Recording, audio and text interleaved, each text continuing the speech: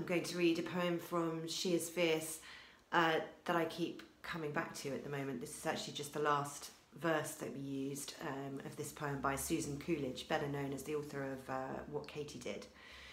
But I've found this helpful at the moment. New every morning.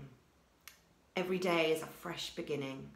Listen, my soul, to the glad refrain. And, spite of old sorrows and older sinning, troubles forecasted and possible pain, take heart with the day and begin again.